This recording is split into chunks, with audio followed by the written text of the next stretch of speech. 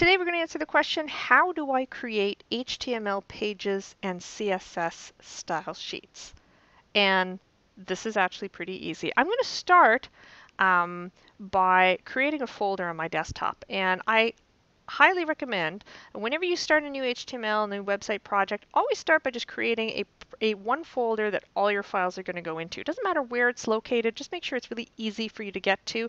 To do mine on the desktop here, um, and I'm going to call mine, because we're going to be building a coming soon page, like uh, kind of a, for a, a, website that's coming soon. Um, so I'm just going to call it coming soon. And there's some reasons for this. I'm going to do all lowercase, no spaces in the name, and I'll explain later why.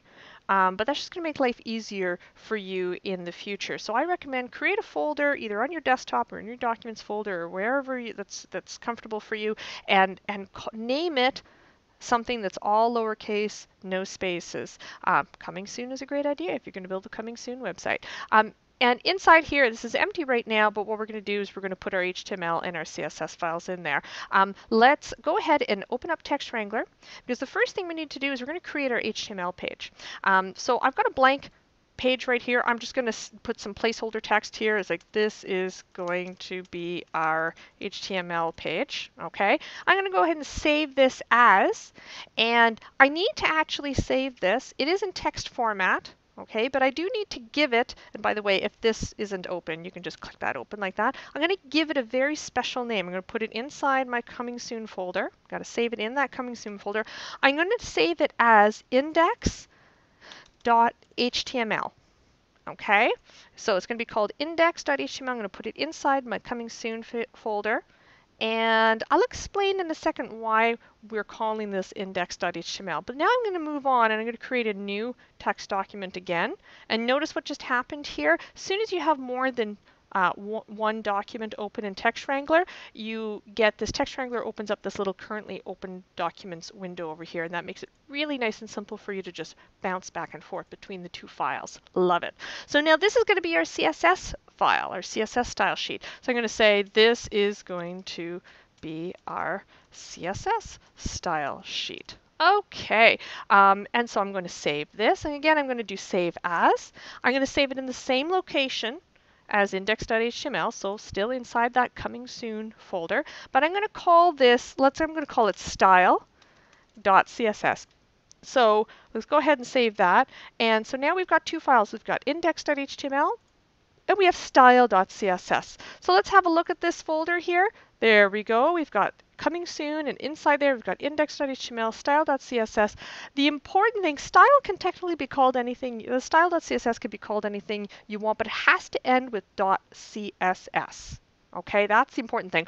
I like calling it style because that just makes sense.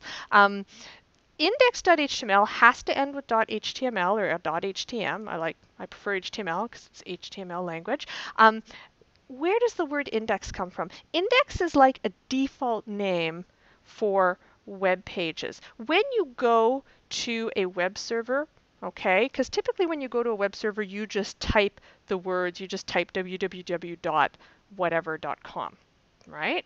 And when you go there, it automatically loads it looks for, the web browser will automatically look for a file, any file on that server called index.html or index, anything that's called index. And it will give you the first file it finds that's called index. And it says, oh, this is what you want. If it can't find a file called index, then it doesn't know what to show you.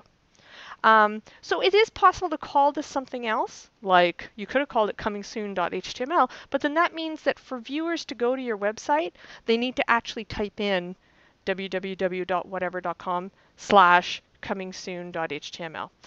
If this makes sense, great. If it doesn't make sense, don't worry about it. We're going to be reviewing this again when we start talking about FTP eh, a few uh, a few screencasts on. Um, but that's really why we call it index.html uh, because this is just going to be a single page and we just want it to load automatically as soon as people get to our website. Okay, um, one last thing.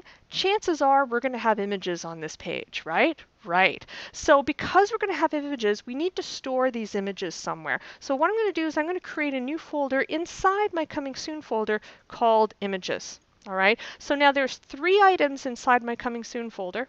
I've got images, I've got index.html and I've got style.css. And inside here, this is where, inside this images folder, this is where I'm going to put all the images. I don't have any images yet, but that's where they're going to go.